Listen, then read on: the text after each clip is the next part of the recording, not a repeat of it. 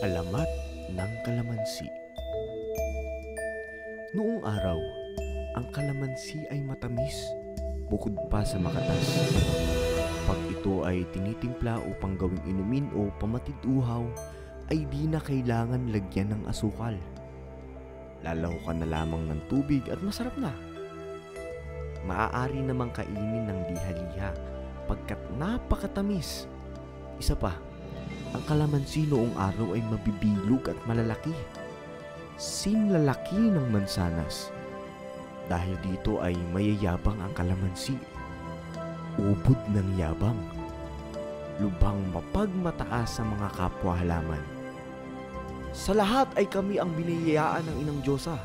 Sino ang hindi magmamahal at matatakaw pag nakikita kami? Hmm? Tabi ang lahat ng mga halamang may bunga sa amin. Ang labis na kayabangan ng mga kalamansi ay ipinagdamdam ng mga kapwa halaman at ikinagalit ng inang Diyosa. Aalisan ko kayo ng dahilan sa pagmamataas. Gayunpaman, magiging mahalaga pa rin kayo sa mga tao. Pinaliit ng inang Diyosa ang mga kalamansi at pinaasim ang katas ng mga ito. Paalala sa inyo na nagkulang kayo sa kababaang loob, anya. Ngayon ay marami pa rin gamit ang kalamansi, ngunit hindi na ito malaki at hindi na matamis ang katas. Naging maasim man ang kalamansi ayon sa alamat, hindi pa rin naman daw dapat magmaasim dahil marami pa itong gamit sa kusina. Pampalasa sa mga pagkain at panimpla sa sausawan. At para sa mga taga-Oriental Mindoro, ang maliit at maasim na prutas na ito, matamis na kita naman ang hatid. Oriental Mindoro rin ang may pinakamalaking taniman ng kalamansi sa buong bansa. We have on the average for the past five years around 6,177 hectares planted to kalamansi. Meron din kaming 2,800 na farmers na dependent sa kalamansi for uh, their livelihood. 77% ng kabuang bilang na ito nanggagaling sa bayan ng Victoria. Kaya hindi na nakapagtatakang nabansagan silang Kalamansi Capital ng Mindoro. At ang tinaguriang Kalamansi King sa kanilang bayan, si Filomeno o Poli del Mundo. Ang taniman kasi niya ng kalamansi, umaabot lang naman ng 54 na ektarya. Mga edad uh, 18 po nung magsimula po ako pagbubukid ng kalamansi.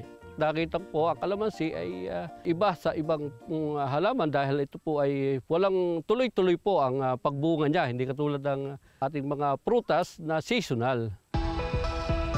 Mula 20 hektarya, unti-unting napalago ni Polly ang kanyang taniman.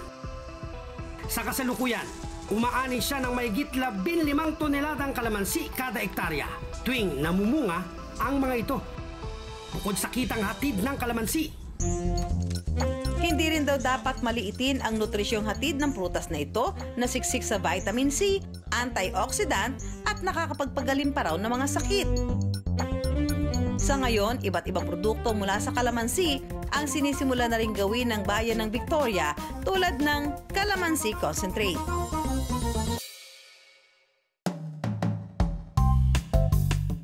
Sa bayan naman ng Rojas dito pa rin sa Oriental Mindoro, may pambatong kalamansi, mini cake at prop. Actually, kasi very abundant kasi yung kalamansi dito sa Mindoro. Usually kapag may tinanong ka na tao, anong sikat na pagkain sa Mindoro? It's either bigas, kalamansi. Yun talaga yung pumapasok. So why not na gamitin siya into our products?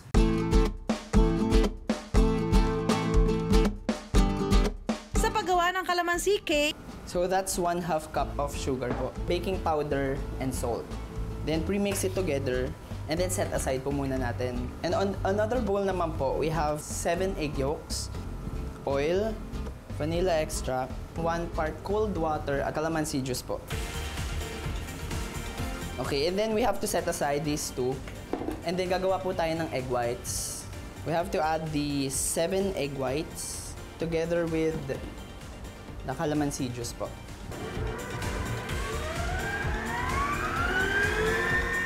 saka pagsasamahin ang dalawang mixture. isasalin sa baking pan.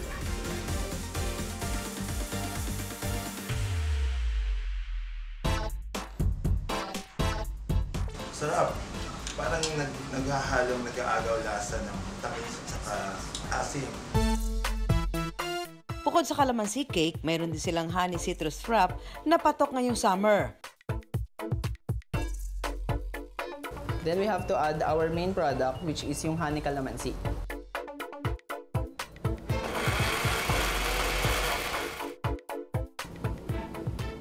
Ito na po ang ating honey citrus frap made from calamansi mula po dito sa Rojas Oriental, Mindoro.